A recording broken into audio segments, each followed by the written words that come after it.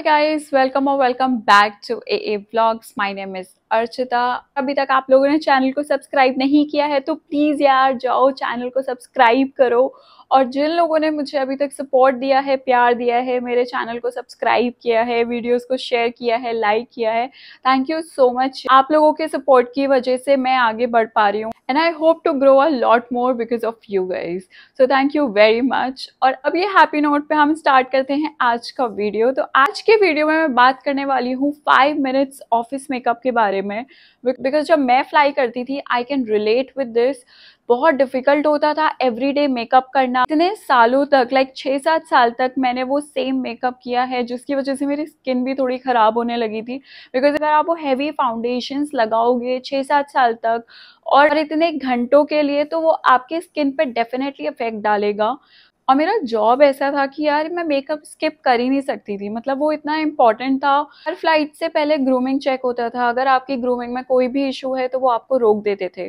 जैसे मैंने निकाला था मॉर्निंग और नाइट रूटीन मैंने निकाला यहाँ पे अपना एक precise version of the makeup जो मैं करती थी पाँच मिनट में।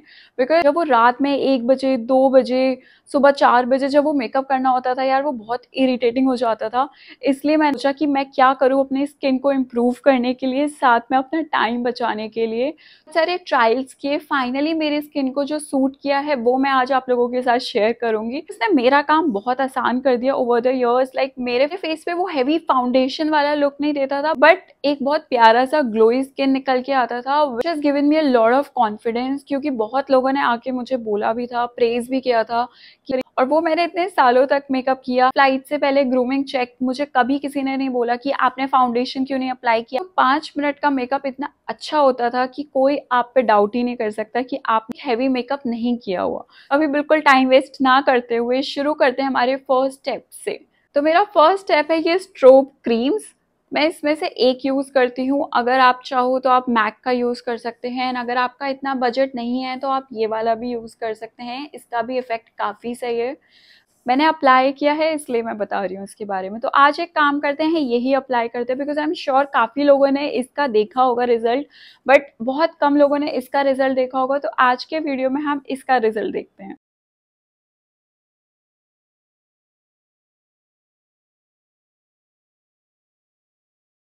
एक इंपॉर्टेंट चीज़, जब भी आप मेकअप करते हैं तो just make sure you prep your skin very well otherwise वो मेकअप का ग्लो अच्छे से नहीं आएगा आपके फेस पे। तो अगर आपको एक अच्छा सा प्रेप्ड स्किन चाहिए तो आप मेरा मॉर्निंग वाला वीडियो देख सकते हैं। उसमें मैंने डिटेल में बताया है कि मॉर्निंग में क्या करती हूँ।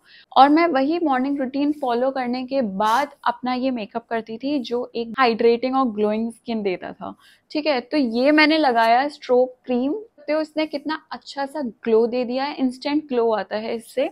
तो ये आप देख सकते हो, ये कैमरे के सामने है। तो यही कमाल होता है इन स्ट्रोक क्रीम्स में कि अगर आप कुछ ना भी लगाओ, लेकिन आपका स्किन एकदम से बहुत ग्लोई बहुत हाइड्रेटिंग और बहुत इल्यूमिनेटिंग फैक्टर देगा मैं अप्लाई करती हूँ फ़र्स्ट स्टेप में ये स्ट्रोक क्रीम ठीक है, अब चलते हैं अपने सेकंड स्टेप की तरफ़। मेरा सेकंड स्टेप है ये ये है this is the CC cream from Kiko Milano ये है शेड हनी में। मैं इसको बहुत टाइम से यूज़ कर रही हूँ। इसने बहुत अमेजिंग रिज़ल्ट दिया है। ट्रस्ट मी मैंने जब से फाउंडेशन को डिच किया है या अप्लाई करना शुरू किया है, मेरा स्किन टेक्सचर और इम्प्रूव हो गया है। आप कोई सा भी सीसी क्रीम ले सकते हैं बट मैं इसे काफ़ी टाइम से यूज़ कर रही हूँ। I definitely trust this one बहुत टाइम के लिए और स्टॉक चली गई थी स्पेशली ये colour I don't know why but thankfully मेरे पास एक स्पेयर में पड़ा हुआ था तो मुझे इतनी प्रॉब्लम नहीं हुई। तो अभी हम अप्लाई करते हैं इसे।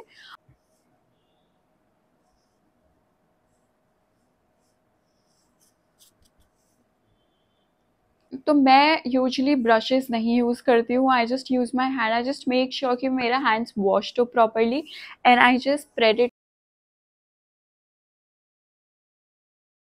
मेरा सेकेंड स्टेप और आप देख सकते हो एकदम से कितना डिफरेंस आ गया है सिर्फ़ दो स्टेप में। इमेजिन अगर आप चाहो तो आप कंसीलर यूज़ कर सकते हो but I don't use any concealer मैं स्ट्रेट अवे अपना सीसी क्रीम लगाती हूँ और उसके बाद अपने थर्ड स्टेप से शुरू करती हूँ। बट इफ़ यू वॉन्ट आप डेफिनेटली कंसीलर लगा सकते हो।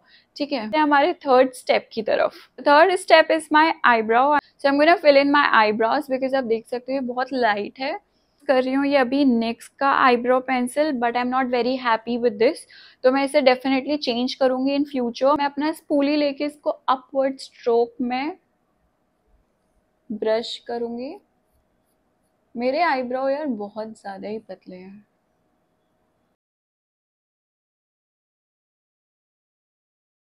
बाद में ये जो दिन ब्रश आया था, हल्का सा ब्लेंड कर दूँगी। और ये था थर्ड स्टेप और आप देख सकते हो एकदम से वो आईब्राउ डिफाइंड हो गए हैं। I do not like my eyebrows too dark मैं इसलिए इसको लाइट हैंड से फिल इन करती हूँ। That's how I like it yes this was the third step जिसने बिल्कुल भी टाइम नहीं लिया। Moving on to a fourth step तो वो है मेरा current favourite blusher by Pixi ये एक स्टिक फॉर्म में आता है। जो बहुत इजी है टू कैरी और वो तो आप कॉन्ट्यूरिंग भी कर सकते हो ब्लशर से पहले बट मैं एवरीडे के मेकअप में कॉन्ट्यूर नहीं करती हूँ, मैं सीधा ब्लशर यूज़ करती हूँ। ये है वो shade this is in light pink colour इसमें आई थिंक तीन शेड्स हैं बट मुझे ये सबसे अच्छा लगा। मैं अब इसे अप्लाई करती हूँ तो बस ऐसे ग्लाइड करना है एंड आप देख सकते हो ऑलरेडी पिगमेंटेशन आ रहा है, कितना स्ट्रॉन्ग पिगमेंटेशन है। मैं थोड़ा नोज़ पे लूँगी, थोड़ा यहाँ पे।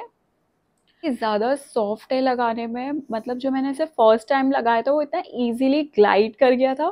So it became like my favourite blusher for now this is bit expensive but it's worth paying for sure so this is my retractable blusher brush और मैं इसे करूँगी ब्लेंड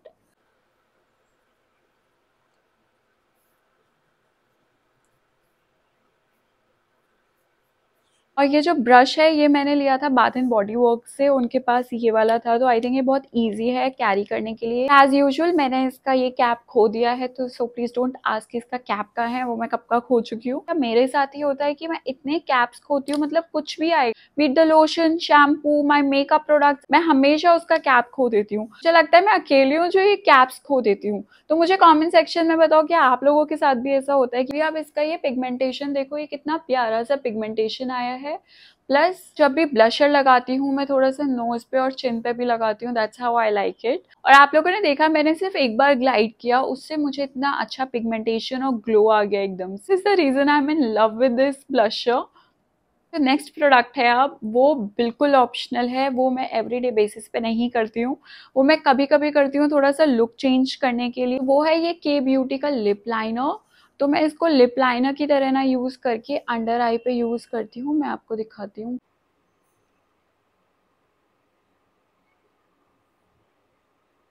तो मैं अपने इसको अंडर लाइन पे यूज़ करती हूँ बट ये बहुत कभी कभी है जब मुझे थोड़ा लुक चेंज करना होता है। तो इसमें बहुत सारे शेड्स आते हैं पिंक्स और browns you can use any और मुझे ये बहुत डिफरेंट लगता है करने के बाद। If you want you can use this one as an eye shadow also but मैं यूजली इसको अंडर लाइन पे यूज़ करती तो कभी जब मुझे थोड़ा चेंज का मन होता है, तब मैं ये करती हूँ। अदरवाइज़ ये मैं स्टेप छोड़ देती हूँ।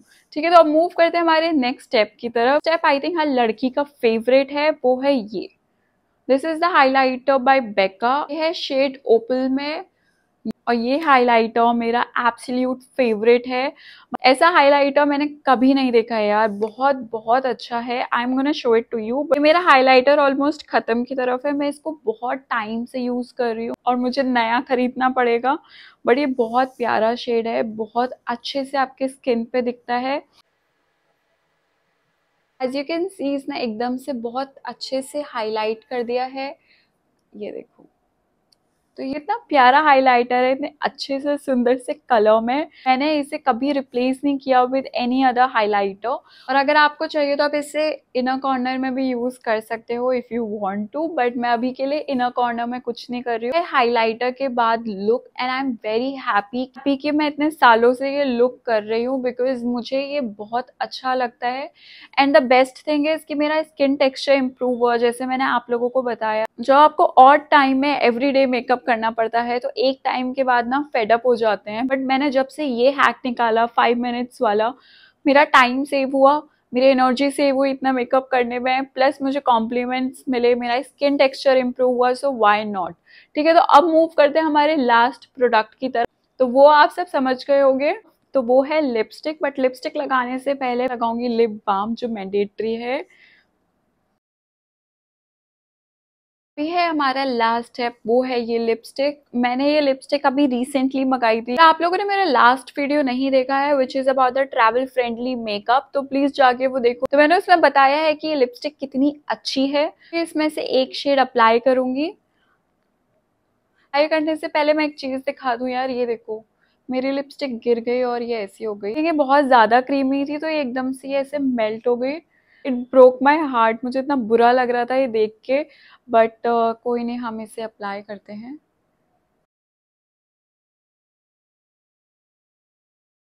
Yes this is the final look मुझे तो ये लुक बहुत अच्छा लगा। बहुत इजी है बहुत टाइम बचाता है। प्लस उसके साथ आपको मिलता है एक प्यारा सा डुई और प्यारा सा एक glowy look not you can apply the mascara आप आई शेडो लगा सकते हो हल्का सा if you want to but मैं एवरीडे के मेकअप में ये नहीं करती हूँ।